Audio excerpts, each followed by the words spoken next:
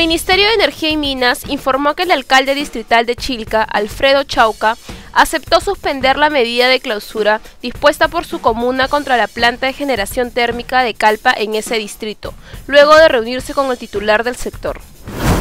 El Registro Nacional de Identificación y Estado Civil decidió suspender la verificación de firmas de lote presentado el pasado 6 de julio por Carlos Vidal, promotor de la revocación a la alcaldesa de Lima, Susana Villarán, y a los miembros de su consejo edil.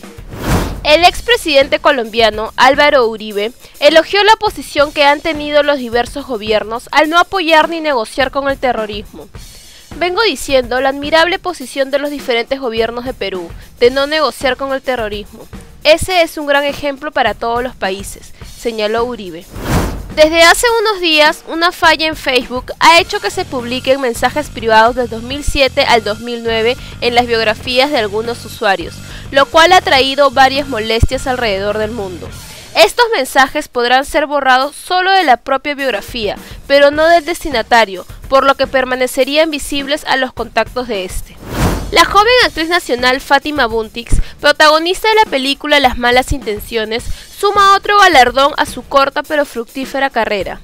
Esta vez se hizo acreedora al premio a Mejor Actriz Revelación en la sección largometrajes de ficción dentro del primer Festival de Cine de la Unión de Naciones Suramericanas.